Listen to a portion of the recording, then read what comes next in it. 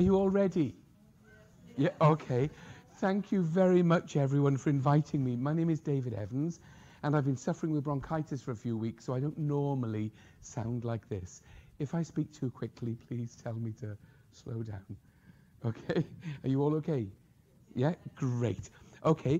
Well, I'm from the University of Greenwich um, in the UK, and I'll just show you a little bit uh, where I'm from. That was me as a little baby boy, and I'm originally from Cardiff, um, which is the capital city of Wales, which is in the European Union. Okay? If you want to say it in Welsh, it's Caerdydd, Prif Ddinas Cymru, yr Undeb Ewropeaidd. Okay? And I live in the Royal Borough of Greenwich, which is also in the European Union. Are you getting my point? Yeah, okay, right. And I work at the University of Greenwich, and we have three campuses. One which is in the historic heart, oh, sorry, one in the historic heart of Greenwich, uh, called Maritime Greenwich. Nursing, midwifery, and education is out on Avery Hill. That's where I'm based. And then we have another campus, which is halfway in Kent, um, in, in Medway. Um, so thanks very much to all of you at this university who have invited me here, and thanks to the Erasmus scheme of the European Union that's invited me. And that was Carl. He came over to Greenwich. Uh, I met him a few years ago, and then he signed up and did one of my online sexual health courses. So it's sexual health that I teach, and most of my courses are all online. So Carl did that, his first course in English. Um, he passed amazingly well, and he's been doing fantastic work here ever since, and especially with a big national organisation called SENSOA. Uh, this is the campus that I'm based on, Avery Hill. So it's just on the outskirts of Greenwich. So part of London, but as you leave this, you go into Kent, which is Canterbury, Dover, and um, and that's the building I'm in at the end. They're called Mary Seacole Building. You've all heard of Florence Nightingale, but not many people have heard of Mary Seacole. Just as famous, but she was a black Caribbean woman, and lots of people haven't been talking about her until quite recently. Mary Seacole. So she was in the Crimea with um, Florence Nightingale, but history is sidelined to a lot. This building, uh, this is, our, I made it arty looking, this is um, our student centre, but it's built on um, what used to be called Roper Farm. So Thomas More University, Thomas More's daughter was Margaret Roper, and she owned the property that this building is now on. Okay, right, there's more, there's more to come. Thomas More himself. So my first degree is in theology, and I did that at the University of Kent in Canterbury. And there's a church there that I knew about because it had a famous bit of St. Thomas More in there. And um, I've been taking lots of photos. This one, this is at um, Chelsea Parish Church. Now, I only stopped and took these photos on Sunday. I was driving back from Cardiff after going to the rugby, and I got soaking wet in the rain. Driving back to London, and I stopped at the church because there's Thomas More, and I thought, well, there must be something about him here. Well, the little garden outside is called Roper Garden, and it's where the Thomas More family lived. And this little bit of the chapel is the Thomas More Chapel.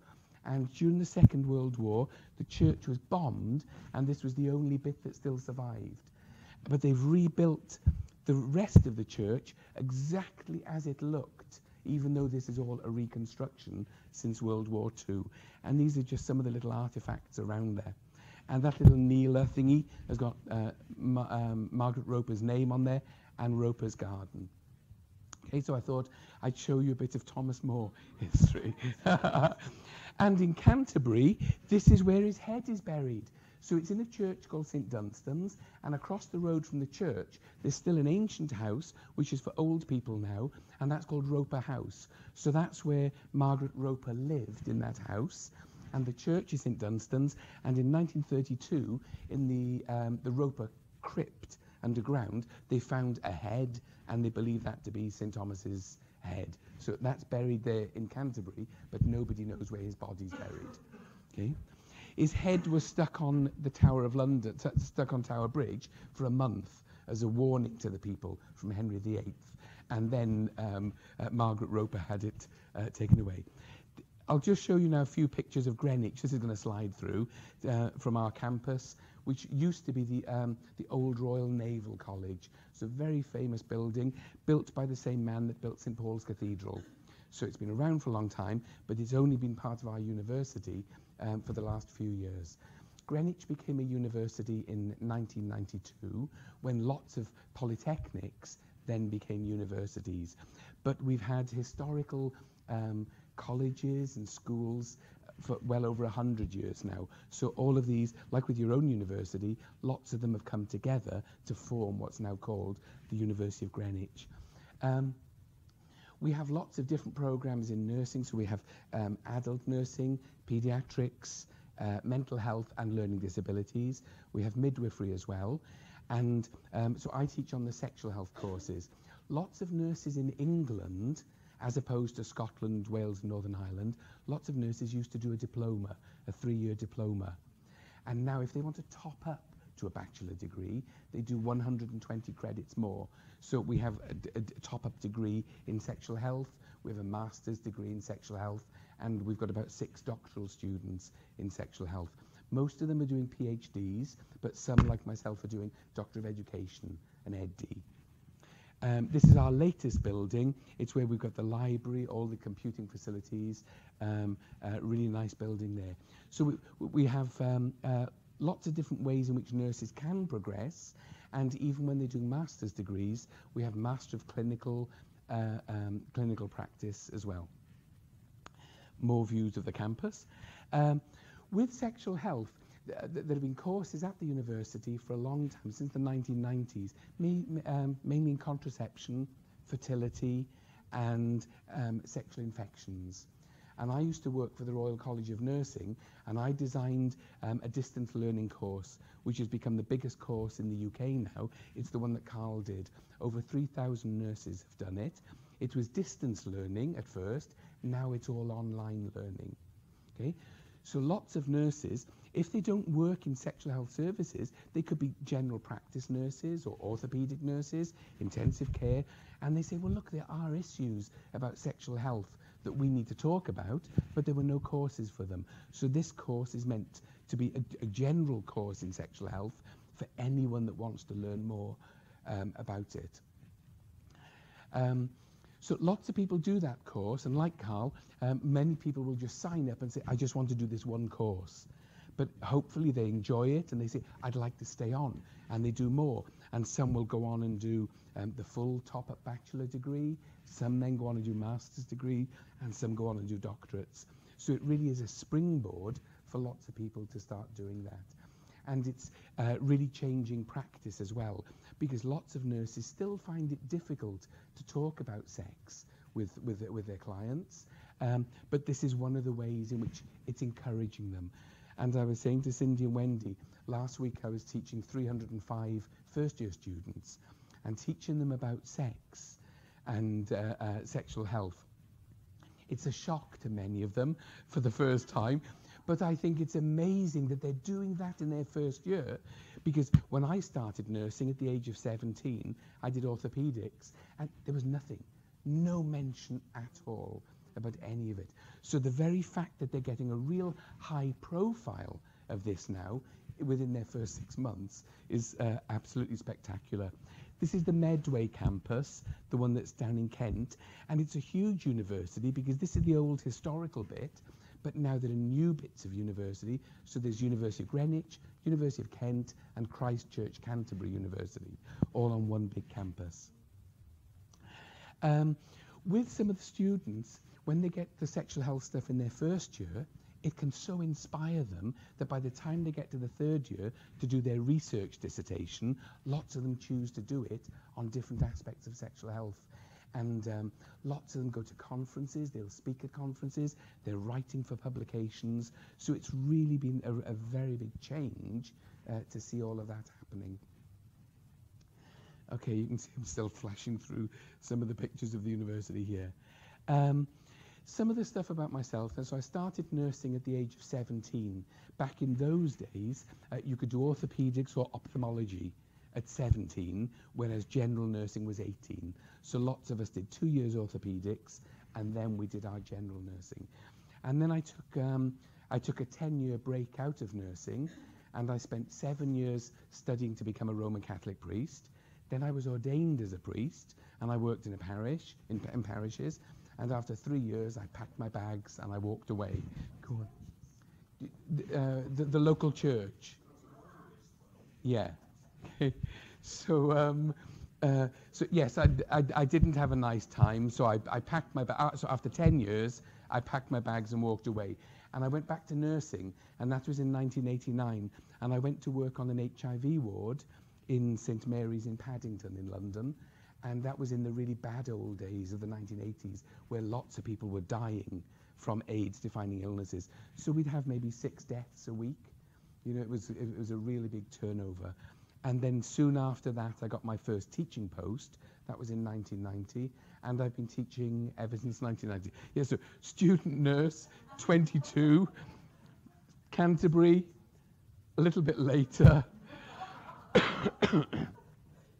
and now, okay?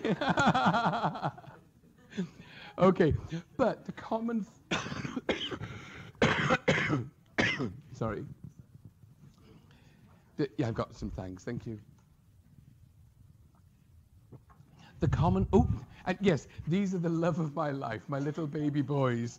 Um, the common theme throughout my life really has been studying for, for all but a four years since leaving school I've been in some sort of education so working right the way through and when I left school I only had two um, O levels we used to call them the, the two basic uh, um, exams at age of 16 so not even enough to start nursing so I had to sit entrance tests to get into nursing and then in September I became professor so to go from not enough qualifications to do nursing to this is a big jump.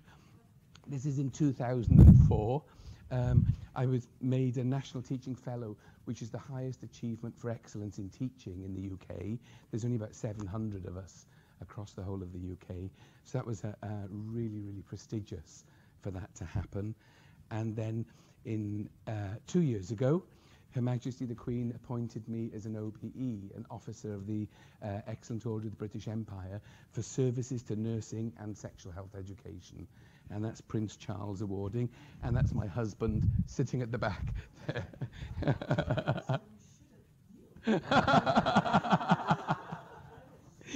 it was really funny. Prince Charles, he, I think he's a bit shorter than me, but he, st he stands up on a platform and um, he, he just said to me, because as, as you walk out, the big speaker says what, who, who you are. So it says Dr. David Evans, uh, University of Greenwich, for services to nursing and sexual health education. And Prince Charles said to me, um, how did you get into sexual health? And he sort of jumped on me. And I said, uh, well, actually, Your Royal Highness, I said, it started when I was a Roman Catholic priest. Get away with you, he said.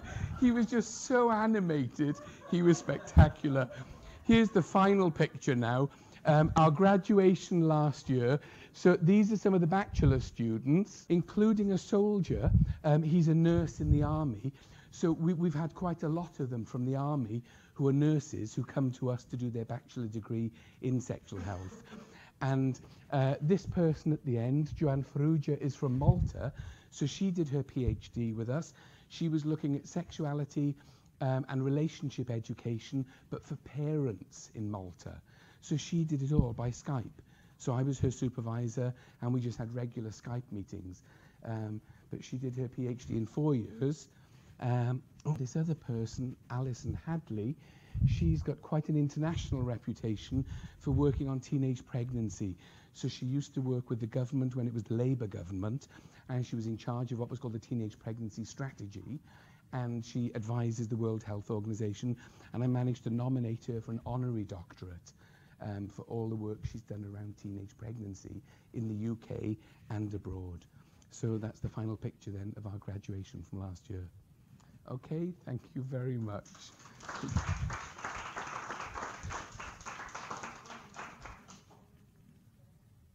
Any questions? Yes. Yeah, uh, yeah. With with the bachelor students, they wear the black gowns and a hood and the hat. master's students would have different, different cut sleeves on theirs, and their hoods are slightly different.